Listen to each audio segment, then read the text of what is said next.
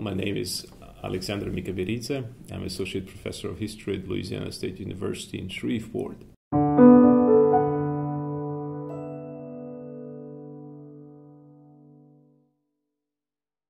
And there are many things to like about this miniature. To start with, if we uh, gauge the impact of the artist by the number of celebrities he painted, Isabey is at the top, no doubt.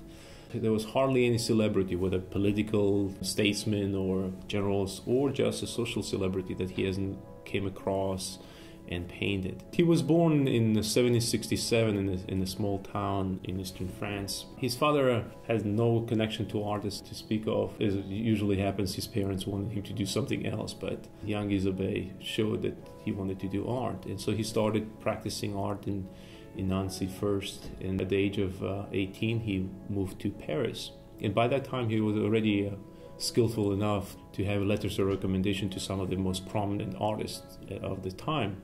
So this is 1785, 86, right before the revolution struck. Uh, the art of miniature painting was very vibrant under the old regime, but then the revolution comes and many of these artists are struggling on, on hard times. But Isabey manages to find his way. And that's, I think, one of the hallmarks of his life is that always finds a way to weasel, to find his connection to the people who are in charge. So he actually became good friends with some of the revolutionaries and started painting their portraits. As he is admitted to these higher ranking families and, and gets to know the people in charge, he actually comes across this young, disheveled officer by the name of Napoleon Bonaparte. And they struck some kind of friendship. I wouldn't say friendship as in they went out and drank beer together, but there was certainly a good relationship between Napoleon and Isabey, especially Josephine, Napoleon's wife, and Isabey that when Napoleon came to power in 1799, one of his first decisions is actually bring Isabey as an official court painter. Isabey is, is excellent at miniature paintings. He rarely did massive paintings. And in uh, 1800, so just about six months after coming to power, Napoleon makes a decision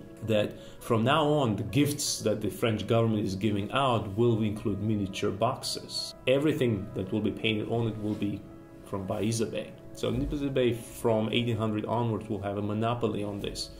And he prospered. But uh, there was so much work that Isabey would try to cut corners. But then Napoleon complains about some shoddy work that Isabey does. Now, none of that applies, however, in many respects to this miniature because it is exquisite. Uh, in some cases, to cheapen the cost, to, to cut the corner, Isabey will use paper, but not in this case. Right here, we have an ivory, and the level of detail is just astonishing. Isabey uh, invested time in this piece. It's, it's exquisitely painted. And the topic itself is interesting.